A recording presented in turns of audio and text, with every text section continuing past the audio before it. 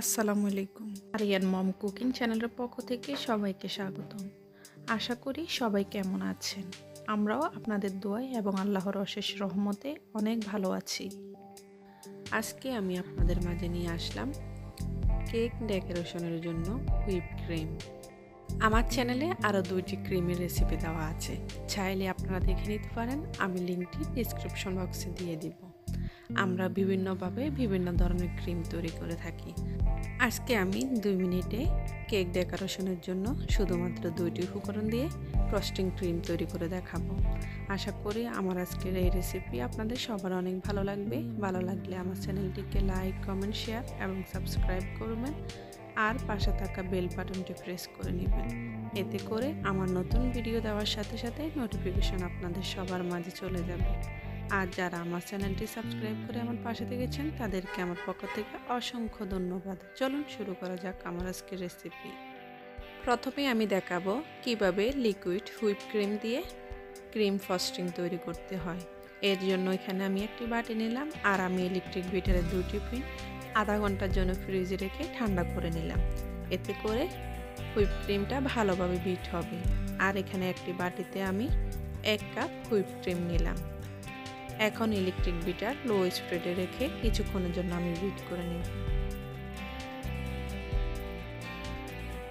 কিছুক্ষণ বিট করার পর যখন দেখব ক্রিমগুলো কিছুটা ফোম হয়ে এসেছে, তখন এখানে আমি আইসিং সুগার দিয়ে দিব। আমি এখানে one third cup icing sugar দিলাম। যাদের কাছে আইসিং সুগার নেই, তারা চাইলে চিনি ব্লেন্ড করেও দিতে পারেন অথবা শিলপাটায় বেটেও দিতে পারেন। আইসিং সুগার দেওয়ার পর এখন আমি আবারও কিছুক্ষণ বিট করে নিব। যখন বিট করতে করতে এরকম ফোম হয়ে আসবে, এই পর্যায়ে আমি এখানে ম্যানেলা এসেন্স দিয়ে দিব।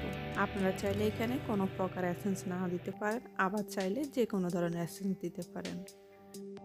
এখন আমি একটা স্পেচলার সাহায্যে চারপাশের ক্রিমগুলোকে মাঝখানে এনে আবারও কিছুক্ষণ বিট করে নেব। আমার হুইপ ক্রিমগুলো ভালোভাবে বিট করা হয়ে গেছে। যখন দেখবেন পিনের গায়ে এরকমভাবে লেগে আসছে, তখন বুঝতে পারবেন আপনার ক্রিমগুলো ভালোভাবে বিট করা হয়েছে।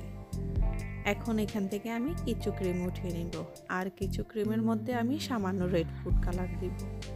এটা অপশনাল, আপনারা চাইলে এটা স্কিপ করতে পারেন। এখন আমি ফুড কালারের সাথে ক্রিমটা ভালোভাবে মিশিয়ে নিব। আমি ক্রিমগুলোকে ভালোভাবে মিশিয়ে নিলাম। এখন আমি একটা ফ্রাইপিং ব্যাগ নিয়ে নেব। ফ্রাইপিং ব্যাগে ঢুকানোর সুবিধার জন্য আমি একটা গ্লাসের মধ্যে ফ্রাইপিং ব্যাগটা নিলাম। এখন আমি এখানে ক্রিমগুলো নিয়ে নেব। আমি সমস্ত ক্রিম নিয়ে নিলাম। এই পর্যায়ে ক্রিমটা কেক ডেকোরেশনের জন্য রেডি